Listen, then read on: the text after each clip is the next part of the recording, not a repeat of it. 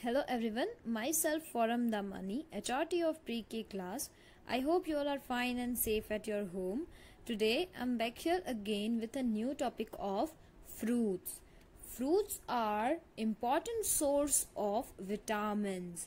We should eat fruits on daily basis to keep ourselves healthy and strong. So let's see some examples of fruits. Apple banana orange strawberry custard apple watermelon blueberry cherry lychee muskmelon pear dragon fruit pineapple kiwi chiku grapes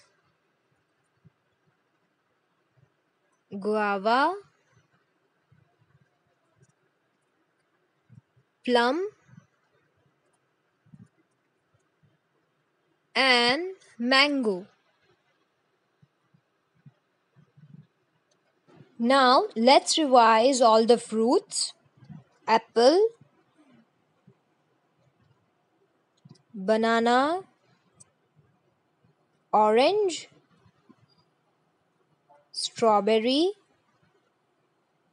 custard apple, watermelon, blueberry, cherry, lychee muskmelon, pear, dragon fruit, pineapple,